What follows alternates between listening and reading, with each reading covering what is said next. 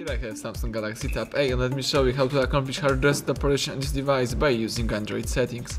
At the very beginning let's hold down the power key to switch on your tablet, then unlock the screen, tap apps icon, find and select settings, scroll down and choose backup and reset. Then select factory data reset, read the information about process and choose reset device.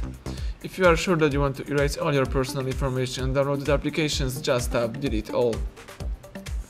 Now the device is resetting and rebooting, the tablet is erasing all personal stuff and customized settings. The whole operation should take a while, so be patient and wait until it's finished.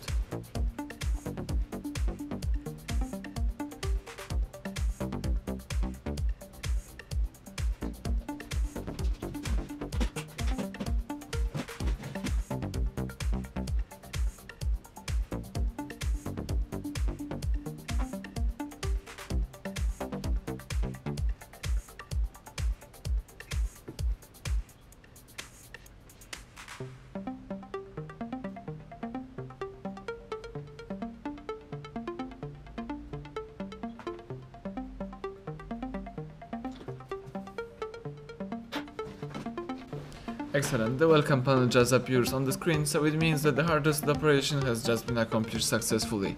Thank you for watching, please subscribe our channel and leave thumbs up under the video.